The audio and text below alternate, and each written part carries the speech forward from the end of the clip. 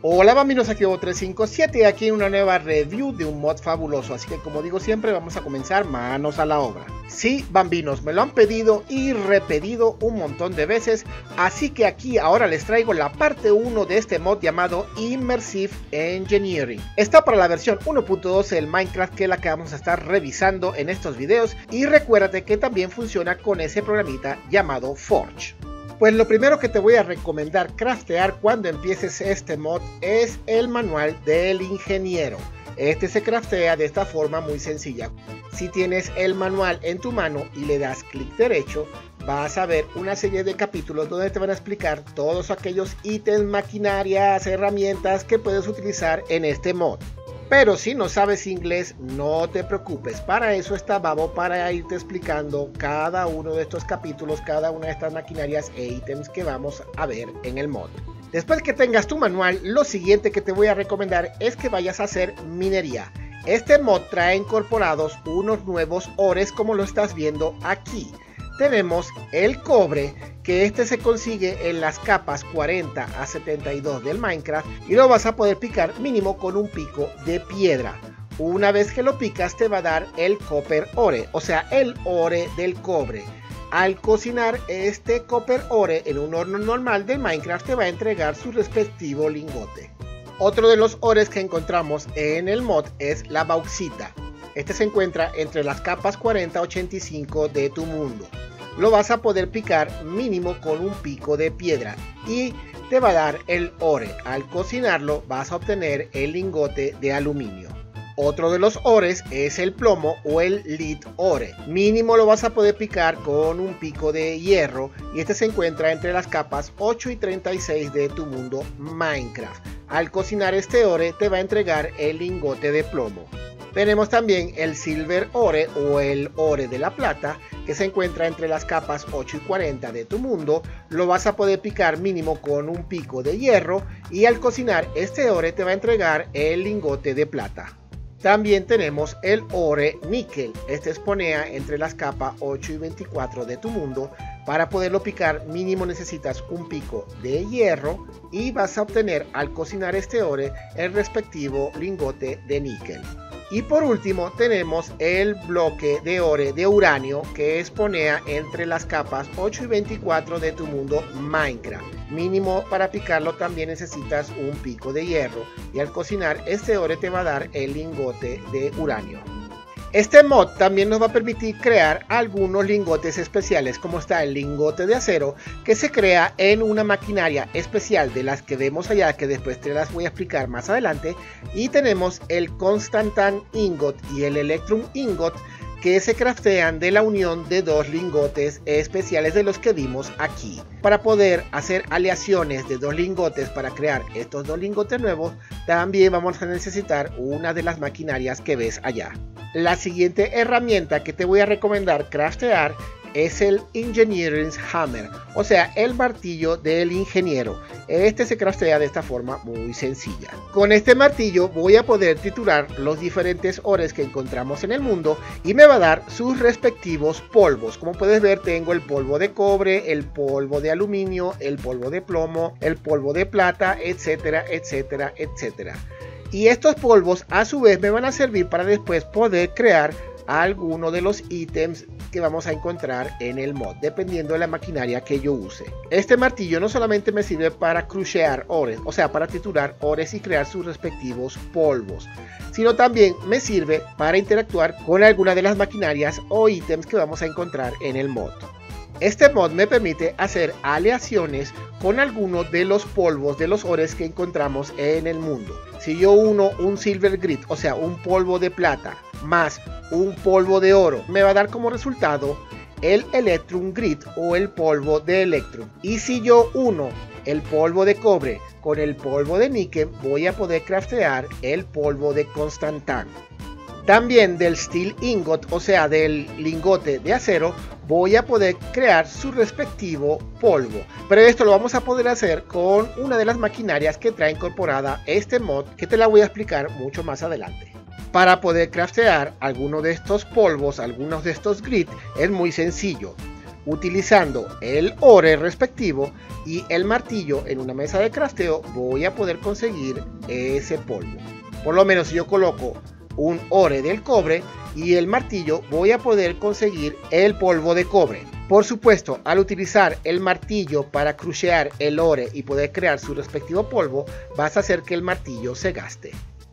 Por cierto, como lo puedes ver aquí, no solamente puedo crear polvo con los ores que trae el mod, también voy a poder crear el polvo de iron y el polvo de oro, que son ores que trae incorporado el Minecraft. Y estos dos polvos me van a servir también para poder craftear algunos ítems especiales del mod.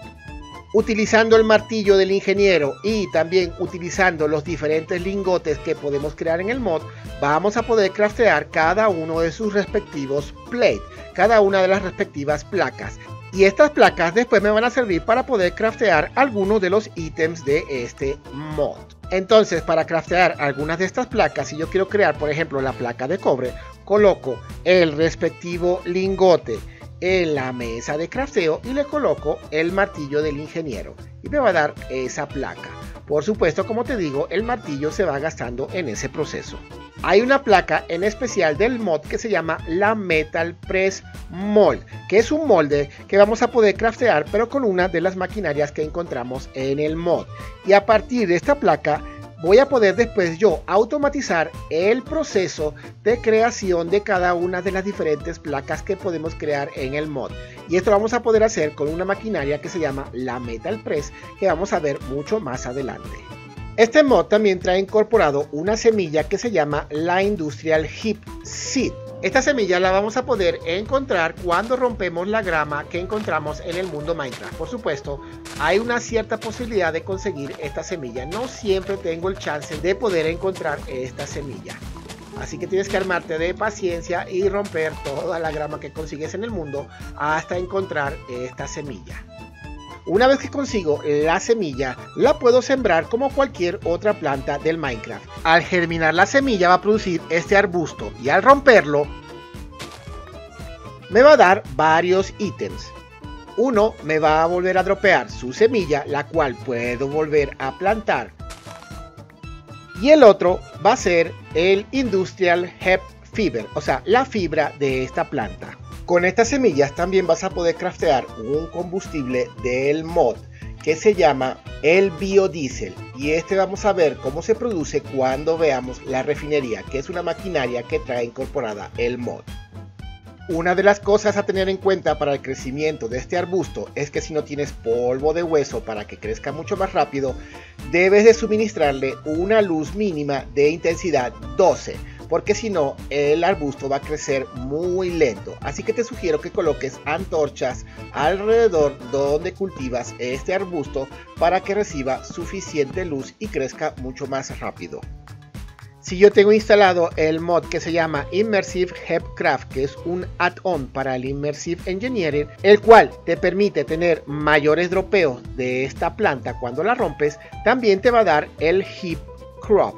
A partir de este Hep Crop puedo también craftear la Industrial Hep Fiber. Uno de los ítems que puedes craftear con estas fibras es el Toad Fabric, que se craftea de esta forma muy sencilla. Uno de los ítems que puedes craftear con esta Toad Fabric es el Jump Cushion, que se craftea muy fácil de esta forma. A mí me salen dos tipos de crafteos porque recuerda que también tengo instalado el add-on de este mod y este jump cushion o cojín saltarín, como podrás suponer, me protege contra las caídas de las alturas extremas. Es como si saltara encima de un bloque de slime, pero a diferencia de este, no reboto cuando caigo arriba de él. Como puedes ver, no reboto cuando yo salto. Otro de los ítems que puedo craftear con el Toad Fabric es el Strip Curtain que sencillamente funciona como una cortina, como la puedes ver aquí, la puedo apilar una encima de otra. Y esto funciona sencillamente como una cortina de decoración, como si fuera una pared, pero los mobs hostiles no me pueden ver a través de ella. Y esta la puedo atravesar. La ventaja que tiene esta cortina es que cuando la atravieso produce una señal de resto. La señal de resto solamente se activa en la cortina que esté más cerca de la señal de resto. Como puedes ver, si yo atravieso la cortina de este lado, te vas a dar cuenta que la señal de resto no se enciende. Esta cortina tiene dos opciones de configuración. Si yo agarro mi martillo del ingeniero y le doy clic derecho con él sobre la barrita gris, como puedes ver se alterna entre dos modos. Uno de los modos es que si yo habilito el Strong Redstone Signal, quiere decir que cuando yo atraviese esta cortina va a emitir una señal de redstone fuerte. Y el otro modo es deshabilitar este tipo de señal.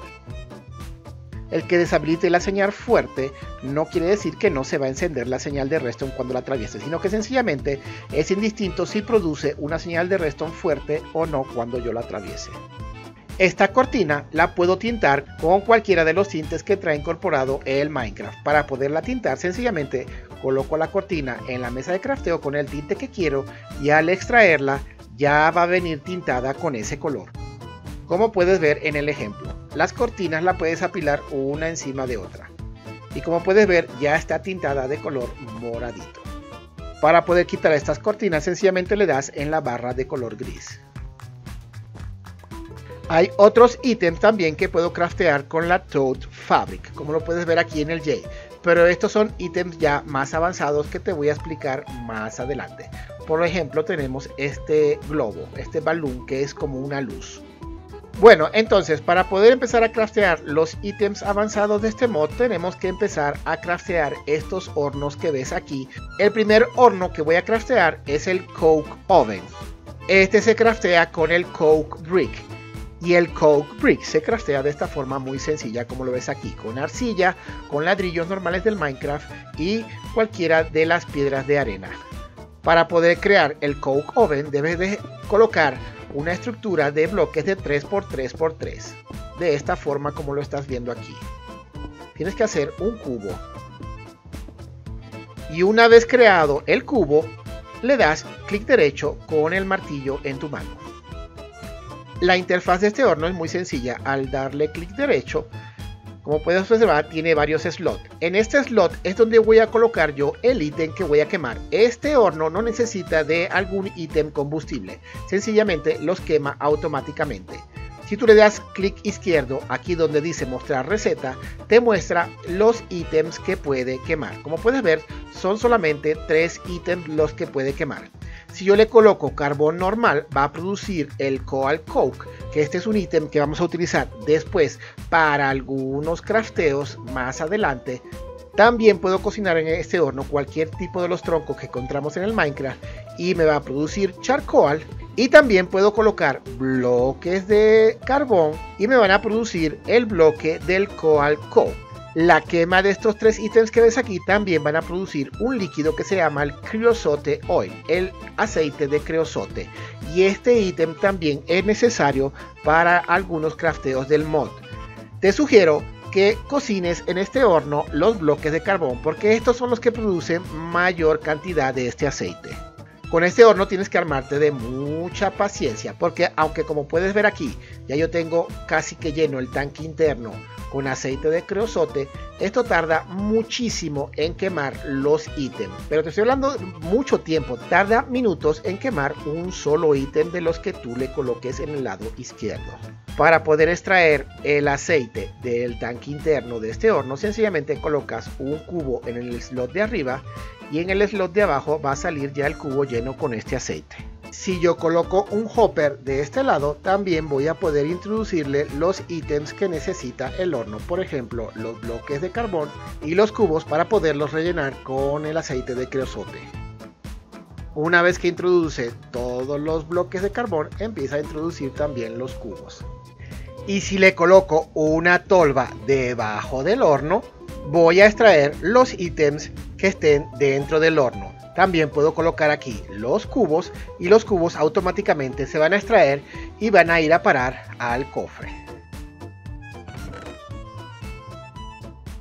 También puedes introducir los ítems en el horno con algún mod que tenga sistema de tuberías de transporte de ítems, como por ejemplo el Buildcraft.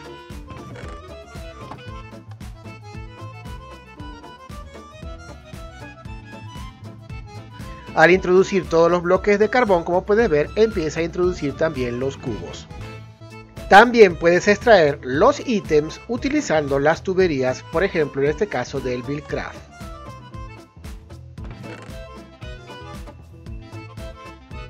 El aceite de creosote se utiliza para craftear algunos ítems del mod.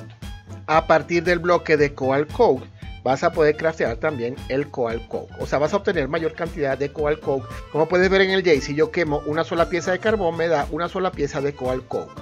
Pero este bloque de Coal Coke me da 9 piezas de Coal Coke. Este horno en resumen lo que te sirve es para poder crear el creosote oil, que este es un ítem importante del mod. Otro de los hornos que también voy a necesitar craftear es el Alloy Kiln. Este se craftea con el Kiln Brick y este brick, este ladrillo, se craftea de esta forma como lo ves aquí. Para poder craftear este horno tienes que colocar una estructura de 2 por 2, o sea, hacer un cubo de 2 por 2 por 2. Y una vez que la tengas hecha, igual que el otro horno, le das clic derecho con tu martillo en la mano. Este horno sí necesita de que le coloques aquí en la parte de abajo algún combustible que se va a quemar para poder producir calor y poder quemar los ítems que tú le coloques en estos slots.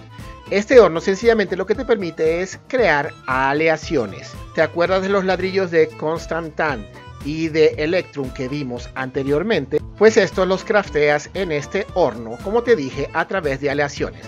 Por ejemplo, para craftear el Constantan Ingot, colocas en este horno un ladrillo de cobre y un ladrillo de níquel y él los va a derretir y va a crear el ladrillo de Constantan. Si quieres ver las recetas de este horno, igual que en el otro horno, le das aquí donde dice mostrar recetas y te va a mostrar todos los ladrillos que puedes craftear, todas las aleaciones que puedes craftear en este horno.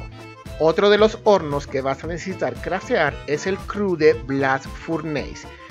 Este se craftea con el Blast Brick y este a su vez se craftea de esta forma muy sencilla como lo ves aquí, con ladrillos del Nether, con ladrillos normales y con polvo de Blaze. Y para poder craftear este horno, ya sabes, una estructura de 3x3x3, o sea, un cubo de 3 ladrillos. Y una vez que los tengas colocado, igual con el martillo en tu mano le das clic derecho. Este horno para poder funcionar también necesita de un ítem combustible. Si tú le das aquí donde dice mostrar recetas y le das a esta pestaña donde dice Blast Furnace Fuel, vas a poder ver los diferentes ítems combustibles que le puedes colocar y la cantidad de tiempo que dura cada ítem. Como puedes ver, el ítem que más dura ardiendo es el Blood of Coal Coke, que este lo habíamos crafteado en el Coke Oven. Entonces ya sabes para qué sirve el Block of Coal Coke. Y este horno para lo único que sirve es para craftear los lingotes de acero, el bloque o los lingotes de acero. Que si te recordarás, este es uno de los lingotes del mod que te había enseñado al principio. Este horno, aparte de producir los lingotes de acero, va a producir un polvo de desperdicio que se llama el slack si tú no quitas el slack del horno, el horno sencillamente se va a parar y va a dejar de producir estos lingotes. Como puedes ver, al llegar a la capacidad máxima de slack que puede contener, que son 64 de slack, el horno se para. Para que siga funcionando tengo que quitarle el slack. Pero este slack no lo botes, aunque es un polvo de desperdicio que se produce cuando creas el steel ingot, este te va a servir para craftear un nuevo bloque que se llama el concreto, que es un bloque decorativo. Para craftear el concreto se craftea de esta forma muy sencilla como lo ves aquí. A partir del bloque de concreto voy a poder craftear su respectivo slab y sus respectivas escaleras. Ya sabes, los crafteos son exactamente igual a como lo harías con los crafteos de las escaleras normales del Minecraft o de los slabs del Minecraft. Y yo sé que me vas a preguntar, Babo, ¿y para qué quiero yo craftear un bloque de, concreto si el Minecraft ya tiene sus bloques de concretos que puedo craftear y con diferentes colores? Acuérdate, mi querido bambino, que cuando se creó este mod, todavía el Minecraft no tenía implementado los bloques de concreto. Si yo coloco en una mesa de crafteo el bloque de concreto, voy a poder craftear el concrete tile y a través de este concrete tile también voy a poder craftear los slabs de concrete tile y las escaleras de concrete tile. Y si yo coloco en una mesa de crafteo una placa de plomo con un bloque de concreto, voy a poder craftear lo que se llama el Leaded Concrete, que es este bloque que ves aquí. Y a partir de este bloque también voy a poder craftear sus respectivos slab y sus respectivas escaleras. Así que ya sabes que tienes una gama de bloques de concreto con los que puedes tú decorar tu mundo. Uno de los ítems importantes que vas a necesitar craftear en este mod es la mesa de trabajo del ingeniero, que es esta mesa que ves aquí. Su crafteo es muy sencillo. Debes de craftear lo que se llaman las Treated Wood Planks y la Treated Wood Fence. La Treated Wood Planks se craftean colocando madera de cualquier tipo del Minecraft con un cubo de creosote oil por eso es importante el aceite que se crafteaba en el horno que vimos al principio, que era el Coke Oven, que en este horno es donde se crea el aceite de creosote.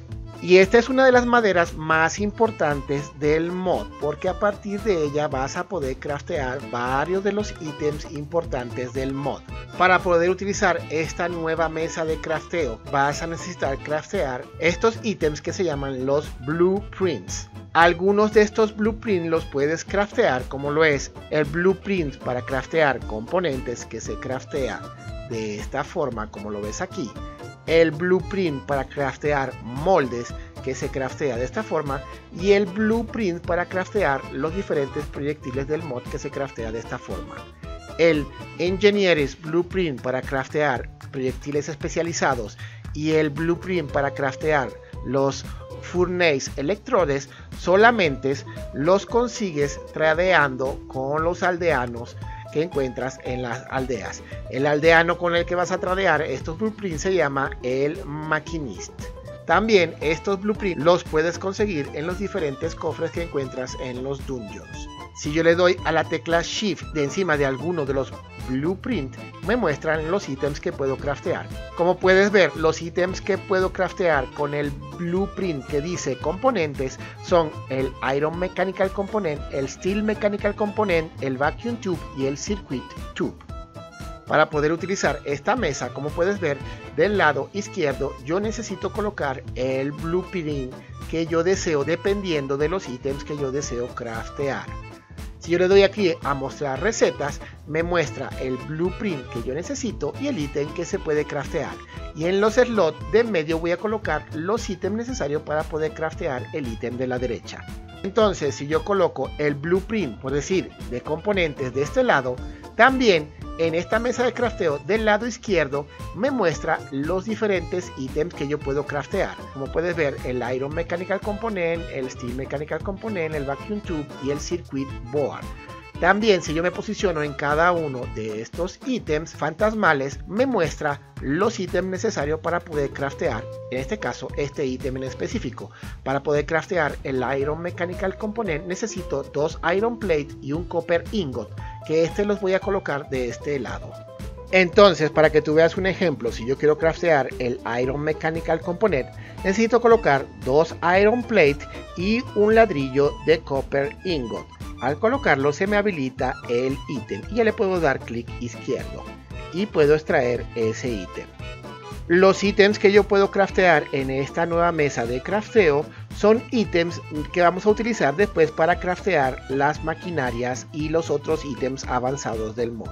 Recuerda, dependiendo del blueprint que tú coloques en el lado izquierdo, te va a mostrar los ítems que pueden ser crafteados en el lado derecho. Ya sabes que ponerte a buscar ores en el Minecraft es una tarea tediosa porque tienes que estar picando bloque tras bloque hasta encontrar el ore que tú quieras. Hay una maquinaria que trae incorporada este mod que te hace esa acción mucho más fácil y se llama el Core Sample Drill. Este se craftea de esta forma muy sencilla como lo ves aquí. Vas a necesitar crear lo que se llaman los Steel Scaffolding y el Light Engineering Block. Esto te lo voy a explicar en otra parte del mod cómo se craftean. Como puedes ver, al sostener esta maquinaria en tu mano, te muestra unas líneas que es su área de acción. El área de acción de este taladro es sencillamente un chunk, como lo puedes observar aquí. Las líneas que definen el área de este taladro se corresponden con las del chunk. Para utilizar esta maquinaria sencillamente la colocas en tu mundo con clic derecho. Y esta maquinaria si te das cuenta necesita para poder funcionar energía. Yo le voy a suplir por los momentos energía con una batería del Cyclic Mod. Una vez que le suplo energía, como puedes ver, ya tiene 8000 de 8000 necesarios para poder funcionar. Sencillamente le doy clic derecho y él empieza a funcionar. O la puedo activar sencillamente con una señal de resto. Una vez que este taladro deja de funcionar, le puedo dar clic derecho y me va a entregar como este tubo, como lo hacen las maquinarias que utilizan los geólogos cuando perforan la tierra. Y aquí va a estar contenida la información de los ores que este taladro consiguió. Si te fijas, dice que consiguió una vena de níquel. Para poder saber la información que contiene esta vena, te vienes a tu manual y buscas la parte donde dice Mineral Deposits y aquí vas a poder encontrar la información de las diferentes venas que vas a encontrar en el mundo. Entonces yo busco la vena de níquel y me dice que esta vena normalmente contiene un 94.44% del oro níquel y un 5.56% de hierro. Como puedes observar en tu manual hay varios tipos de venas, así que no olvides consultar tu manual para saber cuáles son los ores que vienen incorporados en las venas que consigue este taladro cuando está estudiando el terreno. Entonces, si yo me posiciono encima del tubo, como puedes observar, me dice que encontró una vena de tipo níquel. Ya vimos en el manual cuáles son los ores que podemos conseguir en esta vena. Te está diciendo también que esta vena la encontraste en el overworld, o sea, en la dimensión overworld. Y te indica las coordenadas X y Z de inicio y las coordenadas X y Z finales del área donde puedes conseguir ese tipo de vena. También te dice la cantidad de ores que vas a conseguir en la vena, o sea, 38.400 ores. Y te está diciendo que esta muestra se tomó hace 3 minutos. Entonces, si yo me coloco aproximadamente en las coordenadas que me indica el tubo y le doy, en este caso yo tengo un programa que se llama el X-Ray que me muestra los ores, como puedes ver, me está indicando que en esta coordenada voy a encontrar hierro. Vamos a revisar el otro taladro que coloqué también en esta parte del mundo. Una vez que deja de funcionar, le doy clic derecho y como puedes ver me entrega su respectivo tubo. Pero aquí me dice que no consiguió ningún mineral. Recuerda que estas maquinarias, el Core Sample Drill, sirve para conseguir venas de minerales, no ores como tal. Acuérdate que las venas de minerales puede ser un solo ore en específico o puede contener varios ores en esa vena. Así que no siempre te va a dar la información de que consiguió ores. Este tubo lo puedo colocar en cualquier parte de mi mundo dándole shift clic derecho. Y como puedes ver, puedo observar las coordenadas y el tipo de vena que consiguió este taladro. Así no tengo que estar cargando yo los tubos conmigo en mi inventario. Si yo tengo en mi mano un mapa del Minecraft que ya sabes que el mapa de Minecraft te muestra una porción del mundo, y le doy clic derecho sobre este Core Sample, me va a colocar una marca roja en el mapa de donde se encuentra la vena encontrada.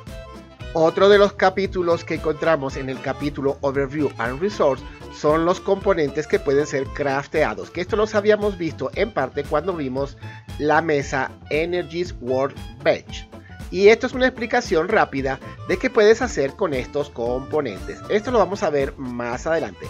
Por ejemplo, como puedes observar aquí, te explica lo que hace el blueprint, que el blueprint sencillamente sirve para poder craftear ítems en la Engineer's Workbench. Hay un nuevo ítem que puedes también craftear en este mod y va a ser de mucha utilidad. Es el grafito, que puedes craftear su lingote y también puedes crear su polvo. Esto lo haces en una maquinaria que se llama la Industrial Squeezer, que vamos a ver más adelante. Pero también puedes craftear un nuevo ítem en la Engineering's Workbench. Utilizando los bloques de grafito vas a poder craftear lo que se llama el grafite electrode. Otro de los ítems que podemos encontrar en este mod son los shaders. Y los shaders son ítems que puedes encontrar en tu mundo Minecraft o tradeándolos con algunos aldeanos.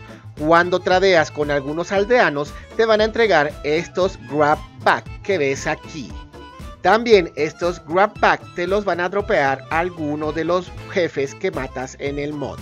Los shaders que te van a dar estos grab packs son aleatorios, no siempre te va a entregar el mismo. Como puedes ver, ya yo encontré algunos en el mundo. Esto lo hice tradeando con aldeanos.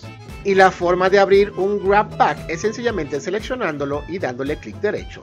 Y como puedes ver, en este grab pack había un shader Fox de nivel un common. Si yo posiciono mi cursor encima de los shaders y le doy la tecla Shift, también me muestra a qué ítem yo puedo aplicar ese shader. Como puedes ver aquí me dice que lo puedo aplicar al Chemical Trouble, al Railgun, a un Minecart, a un Balloon, etcétera, etcétera, etcétera. El manual tiene un subcapítulo donde puedes ver todos los shaders que puedes encontrar en el mod y qué hace cada uno de ellos. Al darle clic te va a decir los diferentes tipos de shader que encuentras en el mod. Y para poder saber qué hace cada uno de estos shaders, le tienes que dar al botón que dice Unlock this shader. Al darle al botón, te dice dónde puedes aplicar el shader y el uso que brinda ese shader al ítem que tú se lo estás colocando. El manual me dice que los shaders se utilizan para cambiar las características de diseño de alguno de los ítems del mod. Recuerda, los ítems a los que puedes aplicar los shaders los encuentras en tu manual o sencillamente con el shader en tu mano le das a la tecla Shift. Para que tú veas un ejemplo de cómo aplicar un shader, sencillamente te vienes a tu Engineer's Workbench colocas el ítem al cual le vas a cambiar la característica de diseño, en este caso yo tengo un revólver y colocas el shader de este lado.